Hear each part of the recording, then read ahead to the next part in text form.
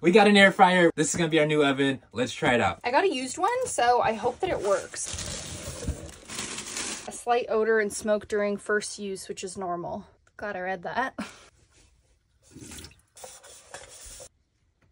Light will illuminate and the air fryer will begin cooking.